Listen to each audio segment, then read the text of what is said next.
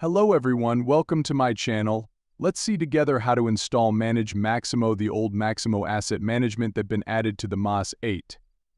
First of all, we need to configure the database. Let's add the URL of our Oracle database and press Save.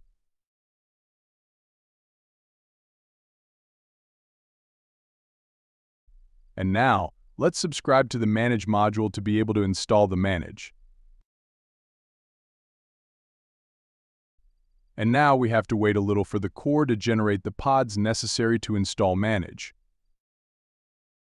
Manage was successfully installed. Let's check the MaxAdmin user and add the missing rights to authorize him to access to the Manage.